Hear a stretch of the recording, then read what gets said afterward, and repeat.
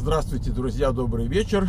Э, Только было я вчера, значит, получил от нашего, так сказать, художника, дизайнера, полиграфиста Ольги, получил э, PDF. И я вас спрашивал, как лучше делать с разворотом там или с отдельными страничками.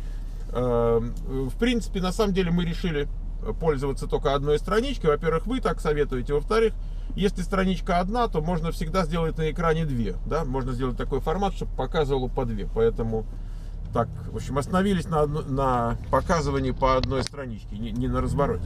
Итак, вот я вот вас спрашивал, там туда-сюда. А сегодня что-то меня дернуло, я не знаю, в, эм, в перископ. Думаю, что-то там вот люди, все-таки они... э, и думаю, интересно, что они сейчас делают, потому что у меня было полпятого дня, пятница, полпятого, я думаю, а у них-то чего ж там сейчас такое-то, значит, ночь на субботу, а, 3 часа, там 4 часа, думаю, надо посмотреть, как там вообще народ у нас, как. И э, только я вышел туда, секунд 5 прошло, уже смотрю, человек, наверное, 20, за 5 секунд набежали. Вот такая вот активность, значит, в перископе. Но много не было, было человек 60, там в общей сложности 50-60, но по ходу беседы в перископе э, один из значит, наших собеседников рассказал, что э, книжка уже есть на Амазоне. Эм, а я-то все жду, когда мне коробка придет, ну, из, из издательства, из типографии, там, из, из э, Аризоны. Видишь, Аризона, Амазона. Видишь, как даже в рифму получается. Напечатать в Аризоне и продать на Амазоне. О, абсолютно. Так вот, значит, жду коробки. Коробки нет. А, а что есть? А есть зритель, который говорит, кстати, на Амазоне есть ваша книжка, можете поискать. Я пошел искать э, фамилию Портнов. Прям по-русски думаю, так как они? По-русски ничего нет. Я думаю, ну раз вы так, написал по-английски. Э, и есть, по-английски есть наша книжка. Значит, они ее почему-то оценили э, в 25 долларов, что унизительно. Унизительно. Мне говорили люди, знающие, что такая вещь должна стоить полтинник.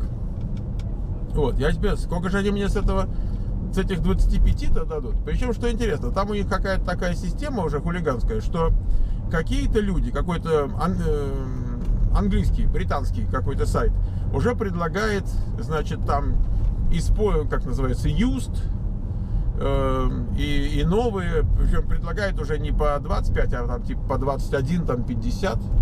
Я думаю, что-то какая-то мафия работает, даже бандиты, в общем, такая вот история интересная. Да, но уже и юст уже появились. А, что там еще интересного? Ну, прикольно, прикольно. Э, Приятно видеть, что вот что-то такое есть. А, У них есть международный там international shipping, то есть вы на, на Амазоне можно купить, живя абсолютно в любой стране. Поэтому, ну, куда почту шлют. Я думаю, может, есть страны, куда почта не доходит, но, во всяком случае, там Россия, Украина не проблема, там Беларусь. Вот такая история. В принципе, 25 баксов это довольно демократичная цена. Я думаю, что сколько же там пересылка стоит, вот, допустим, если там 25 заплатила, и сколько стоит в Москву отправить. Интересно, да? Вот. А у меня ничего нет. А там всего 200 копий, господи, как же они собираются-то? Даже не знаю. Вот. Ну, при- приятно, приятно. Э, Один человек мне написал сегодня в скайпе, что он э, прочитал уже 50 страниц электронной версии, которую я повесил. Она теперь вставилась во все видео после того вчерашнего.